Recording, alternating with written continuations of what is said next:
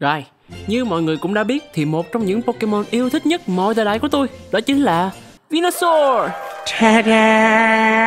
Dạ dạ cho nó một tràng pháo tay đi nào.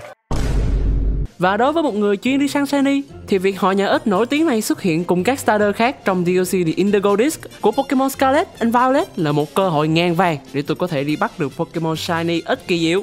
Nhưng cũng vì nó là Pokemon yêu thích nhất của tôi nên tôi chắc chắn phải làm một cái gì đó thật đặc biệt. Làm gì để ta? Không thể nào săn shiny bình thường được. À! Ở trên chính có một vụ khá hay đó chính là một giống loài Pokemon có tới tận 9 kích thước khác nhau, được đo theo hệ số từ 0 đến 255 con nào có chỉ số kích thước bằng 0 thì con đó là con có kích thước nhỏ nhất. Và ngược lại con có kích thước 255 sẽ là con khổng lồ nhất, đại ca của đám còn lại. Nên tôi đã ra một quyết định cực kỳ quan trọng với quốc gia đó chính là đi bắt một con shiny Bulbasaur với kích thước khổng lồ nhất. Và tôi mang một ý nghĩ ngây thơ như thế bắt đầu cuộc hành trình này Mà không hề hay biết nó đưa tôi đi thẳng vào lòng đất luôn Trước khi vào nội dung chính của video thì chúng ta cùng đến với nhà tài trợ chính cho video ngày hôm nay. Xworld là nền tảng chia sẻ game và ứng dụng thế hệ mới, là đối tác của các nhà phát hành game. Ứng dụng Xworld chia sẻ doanh thu lợi nhuận từ các bên đối tác đó, share lại cho các game thủ tích hợp trong quá trình chơi game và làm nhiệm vụ. Ứng dụng này cung cấp hàng ngàn trò chơi phổ biến bao gồm Liên quân Mobile, Free Fire, PUBG Mobile, vân vân và rất nhiều tiện ích khác. Bên cạnh đó, như đã nói trên, Đối với những game thủ am hiểu về thị trường NFT thì các bạn cũng sẽ có thể kiếm được tiền chỉ từ việc tham gia các đấu trường hoặc làm nhiệm vụ trong quá trình chơi game. Với tính năng linh thú X-World, bạn có thể nhận được phần thưởng về tài khoản cá nhân khi chơi bất kỳ tựa game nào trên ứng dụng, tham gia các đấu trường, nhận thưởng và sở hữu những vật phẩm trao đổi có giá trị. Và chính các linh thú bạn sở hữu cũng sẽ có giá trị trao đổi đối với những người chơi khác. Còn đối với những game thủ bình thường muốn chơi game giải trí thì Xworld cũng sẽ chiêu đãi người dùng bằng hàng trăm ứng dụng chơi game xem phim, nghe nhạc độc đáo đến từ các nhà phát hành game nổi tiếng như VNG, Garena, VTC Game. Còn chân chơi gì nữa mà không thử trải nghiệm những tiện ích tuyệt vời này chỉ trong một ứng dụng duy nhất. Link tải app mình sẽ để phần bên dưới mô tả và bình luận.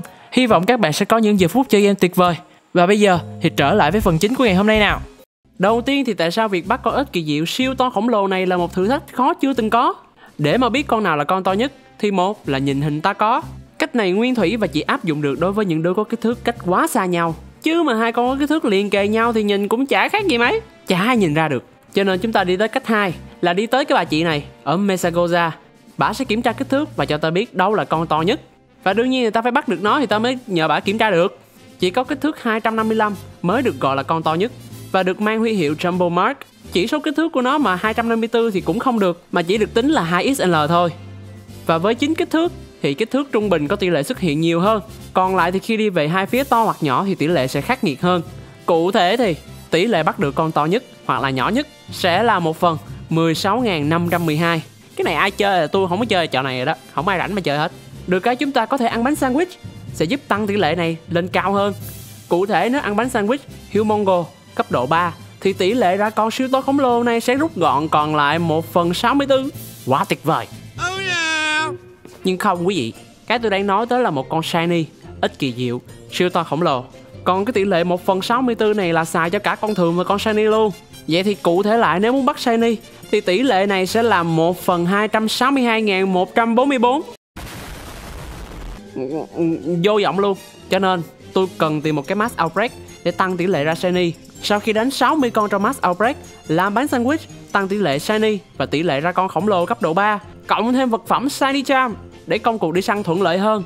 Và với tất cả tinh hoa hội tụ như vậy, tỷ lệ bắt được Shiny ít kỳ diệu siêu to khổng lồ của tôi bây giờ sẽ là 1 phần 32.768 à, Sao thấy nó vô nghĩa dữ ta Ừ thì cũng thì dù sao nó cũng đỡ hơn nhiều. Chúng ta không được đòi hỏi gì thêm. Được cái theo thống kê, một lần làm sandwich trong Mass Outbreak, Bạn ít nhất sẽ bắt được một con shiny. Nên tôi nghĩ là mình cứ kiên trì thôi. Hơn thì mình sẽ bắt được hai con shiny trong Mass Outbreak dài 30 phút. Bắt đầu công cuộc đi săn thôi. Chờ đó, có công mà sắt, có ngày đến kim ngày đầu tiên thì tôi sẽ chọn đóng đô ở đây. Hơn được cái là tụi Bulbasaur sống trong những dãy núi chứ không phải là sống trong rừng, nên dễ quan sát hơn rồi bây giờ thì ok ủa hello chào em sau khi hoàn tất một số thủ tục làm bánh sandwich xong bây giờ thì uh, coi coi tôi hy vọng là chuyện này sẽ không mất quá nhiều thời gian của tụi mình ở phần DLC này thì chúng ta có thể check được thông số của tụi nó bao gồm Đây, cái màu đỏ hình con thỏ là thể hiện tụi nó nằm ở trong loại kích thước nào, lớn, nhỏ hay trung bình. Nhưng con lớn nhất hay con nhỏ nhất thì cũng không thể hiện bằng ký hiệu này, cho nên kiểm tra bằng cách này cũng như không à. Còn cái màu vàng thể hiện uh, quy hiệu của tụi nó. Cái đó thì uh, cái không phải chúng ta cần kiếm cho nên chúng ta sẽ không quan tâm cho lắm. Ui, kia. rồi đó cơ từ sáng tinh mơ tới tối chực chờ mới thấy được nó. Và chúng ta đã có chiến lợi phẩm đầu tiên. Này, thì đánh số để tôi coi là để đếm tôi coi bao nhiêu con thì bắt được một con to nhất. Ok, chúng ta tốn 22 phút. Ngày đầu tiên có vẻ không thuận lợi lắm khi mà tôi đã tốn một tiếng đồng hồ mới bắt được có một con. Tuy nó là mass outbreak nhưng mà tụi này lại xuất hiện khá ít. Phải liên tục chạy vòng vòng mà cái màu shiny thì cũng hơi khó thấy, nhất là lúc trời đang hoàng hôn nữa. Cho nên là được con thứ hai. Nào chào các bạn của mình đi. Rồi nói cho anh biết coi đứa đại ca có mấy đứa nằm đâu đây. Không nói gì cả. Bây giờ chúng ta đi check size của nó là cái gì đây. Tôi nghĩ mới vô thì Ok, good size bigger có nghĩa là dạng XL Vẫn không lớn lắm Ngày 2 thì vẫn bắt đầu với việc làm sandwich Hy vọng hôm nay chúng ta sẽ có một cuộc đi săn thật là thuận lợi. Chúc các bạn may mắn. Ok, chúc tôi may mắn chứ. Tôi đang tràn đầy khí thế bởi vì Ô, oh, thấy được em Shiny thứ ba. Và em này có vẻ đặc biệt hơn mấy em khác. Nào, chụp hình nào, đích bự. Đích bự quay qua đây coi. Con này lì thiệt. Bán gì cũng bán đi bán chảo. Nó nhìn đồng bọn của mình nè. Đó rốt cuộc thì cũng chịu quay mặt qua đây. Vui chưa kìa. Trời ơi kỳ diệu thiệt là dễ thương.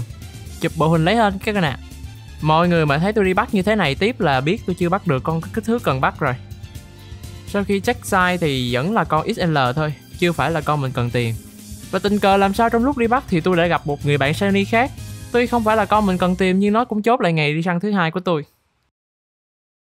Lúc mà tôi đang đi săn như thế này là còn mười mấy ngày nữa đến Tết rồi. Hy vọng là sẽ được lì xì bởi một con ếch kỳ diệu siêu to khổng lồ. Nói chung thì là vì tỷ lệ khá hiếm cho nên là chuyện ờ, sáu con shiny rồi vẫn chưa gặp con to nhất là chuyện đương nhiên rồi. Mà cũng rất có thể một trong những con này là con bự nhất chẳng hạn. Nhưng nhìn bằng mắt thì làm quái nào phân biệt được. Chẳng lẽ tôi phải đi bắt từng con để biết con nào bự nhất à? Ai rảnh? Và cứ thế... Ủa? Sao hai con này đi chung với nhau? Tôi thề đó là shiny luôn á mà sao đứa này là hợp thể nhau vậy có cách nào để tách con shiny ra không ồ, hên quá, nó chạy theo con thứ bảy thứ tám chín. Vẫn chưa nha mọi người. Vẫn chỉ là xl sao tôi gặp toàn con size xl không vậy?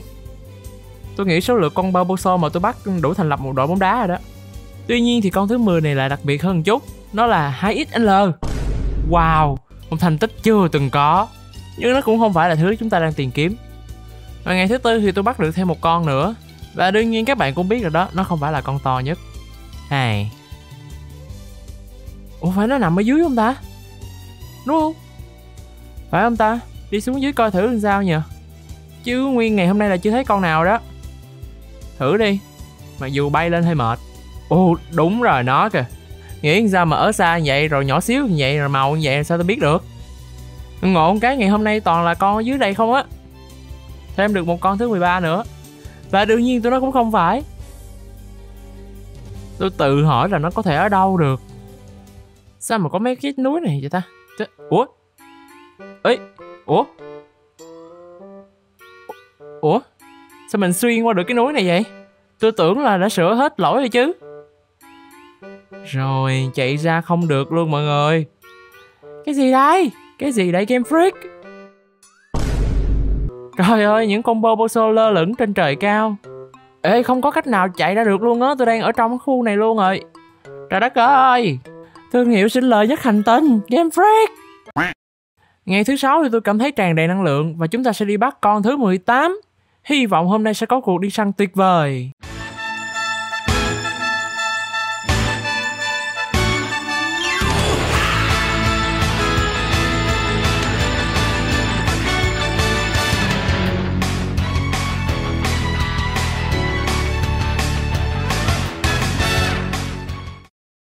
Ôi chỗ đó xả xui cực mạnh. Không phong thủy cho lắm tôi đổi chỗ mới rồi. Chỗ này thì có vẻ nhiều cây cối hơn Nhưng mà tụi Bulbasaur cũng xuất hiện nhiều hơn. Chỗ cũ. Cho nên là hy vọng sẽ Ô uh, mới vô là đã bắt được một con rồi nè. Con này hình như là kích cỡ nhỏ Nhưng mà cũng dễ thương. Đâu cho ta coi cũng không nhỏ lắm. Mấy con này mấy con bên đây mới nhỏ thiệt nè. Ôi ôi. Sau một hồi trải nghiệm thì tôi cũng cảm thấy chỗ này không có khác gì chỗ cũ hết. Còn khó tìm dữ nữa. Mấy con shiny với con thường nó cứ tệp màu với màu cỏ ấy. Ôi trời ơi em bé nó dễ thương dữ người ta. Đít bự đít bự. Ui nó nhỏ thiệt cái chứ. Chưa tới cái thắt lưng mình luôn. Trong khi con 2XL là nó to gần tới vai tôi rồi đó. Không tưởng tượng được ra con nhỏ nhất nó sẽ như thế nào. Đây là chiến lợi phẩm thứ uh, số bao nhiêu ta? Không nhớ là tôi sẽ để trên màn hình. Và check size thì nó cũng không phải là thứ chúng ta đang tìm kiếm.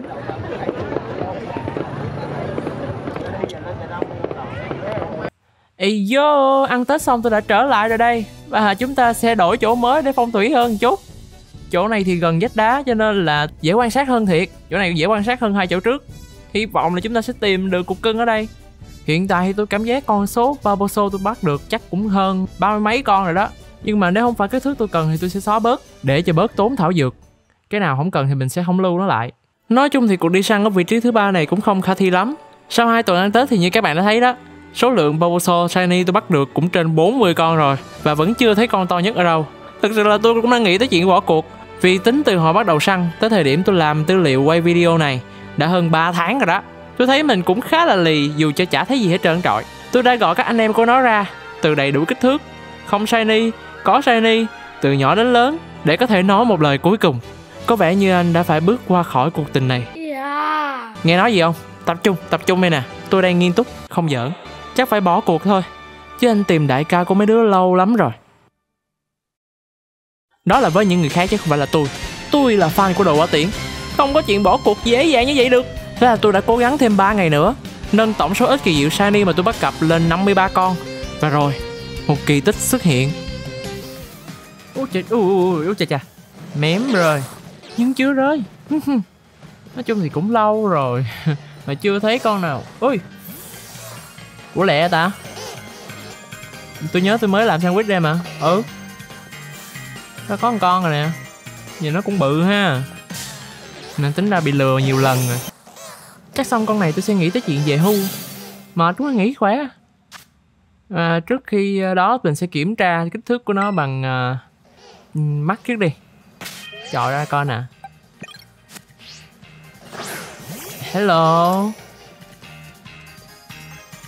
Ừ, Nhìn cũng bự ấy. Nhìn thì cũng bự ấy Nhưng mà nhiều khi mắt tôi có vấn đề Sao thấy mấy con khác nó cũng như nhau rồi ta? Nhìn mắt nó không có ý nghĩa gì hết Để xác thử coi. Và cuối cùng sau bao nhiêu nỗ lực Thì tôi cũng đã bắt được con to nhất. Một con Bulbasaur siêu to khổng lồ. Sau bao nhiêu tháng ngày ta? Hình như Ừ trước Tết. 3 tháng cộng với lại uh, bây giờ nữa chắc cũng 3 tháng rưỡi 4 tháng. To thì cái nhờ. Ủa mà sao lúc nãy nhìn nó không có to dữ mà giờ nhìn to dữ ta? Ui em là đứa to nhất đàn à. Thì sao không xuất hiện sớm hơn? Và không chần chờ gì nữa tôi đã cho nó tiến hóa trở thành Ivysaur kích cỡ của Ivysaur thì cũng uh, nhìn cũng khá bự đó. Nhìn là bự hơn mình gấp nhiều lần rồi. Bây giờ thử tiến hóa lên Venusaur. Tôi nghĩ là kích thước của nó cũng ngang bằng Totera nhỉ? Bây giờ thì tôi đang có hai con Venusaur với hai kích thước khác nhau, là 2XL và 3XL để coi mình cho nó cắm trại, để coi kích thước của tụi nó sẽ khác nhau thế nào ha. Một sự xuất hiện ngàn năm có một để coi hai tụi nó trên lệch quá gì kích thước hay không nha. Uhm. Thực ra thì nhìn như thế này tôi cũng chả phân biệt được con nào là con to nhất mà con nào là con 2XL nữa. Sao nó xem xem nhau ta? Rồi đứa nào mới là đứa giả mạo đây? Đứa nào mới là hung thủ? Có vẻ như con bên tay phải sẽ là con to nhất nhỉ? Ừ, nếu mắt nhìn của tôi không sai. Thì nói chung là hai kích thước này nó cũng chả khác nhau gì mấy Tôi đã nói rồi mà. Nhìn không thể nào phân biệt được. Tôi nghĩ tôi sẽ đặt tên cho nó là Big Buddy Để phân biệt với con Venusaur còn lại. Rồi cho nó ra mắt cái đàn em. Đây Chính là đại ca của mấy đứa mà anh đã tìm bấy lâu nay. Xin chào Gọi anh là Daddy đi. Đúng vậy từ nay ảnh sẽ dẫn dắt tụi em đi đến một con đường tương lai sáng lạng hơn. Và tôi nghĩ hành trình đi săn suốt 4 tháng trời đã có kết quả mỹ mãn. Tôi chắc chắn sẽ sử dụng con này nhiều trong VGC và hẹn gặp lại các bạn trong những trận đánh VGC mà có sử dụng con Venusaur to khổng lồ vật vã như thế này. À, cái video trước chưa phải là con to nhất đâu. Venusaur con to nhất sẽ xuất hiện trong những video sau. Cảm ơn các bạn đã theo dõi chiếc hành trình đi săn của tôi. Hẹn gặp lại các bạn trong những video sau. Có Venusaur nhé. Bye! Thời gian qua rất là cảm ơn các bạn đã ủng hộ tôi thông qua hình thức Momo. Các bạn có thể tiếp tục ủng hộ tôi bằng cách quét mã QR ở cuối màn hình. Và sau đây là danh sách những bạn đã ủng hộ tôi những tuần vừa qua. Một lần nữa cảm ơn các bạn rất nhiều. Hẹn gặp lại các bạn ở những video sau ha. Bye!